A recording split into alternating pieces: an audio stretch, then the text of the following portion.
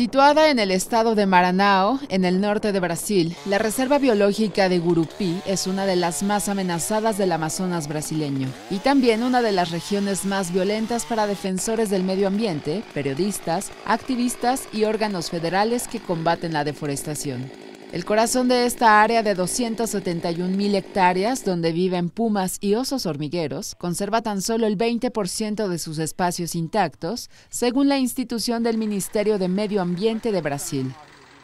Decenas de caminos son abiertos en el bosque por violentas mafias madereras que, impulsadas por un gran lucro en el comercio de especies, extraen de la reserva árboles como la caoba o la copaiba. La reserva también está amenazada por campesinos sin tierra que se adueñan de áreas de bosque para plantar maíz, así como haciendas ganaderas que lucran con los espacios para plantar pasto y alimentar al ganado.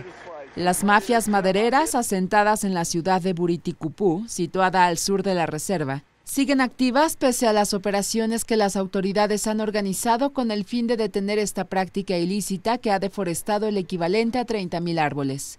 La economía en este lugar se basa en la ilegalidad, donde las personas se ven forzadas a cometer el crimen ambiental para poder comer. Los guardabosques resumen su frustración por un trabajo altamente peligroso, mal pagado, para el que carecen de medios, en especial por tener que vigilar un área de la extensión equivalente a 271 mil estadios de fútbol, con un puñado de vehículos 4x4 y sin disponer de un solo helicóptero.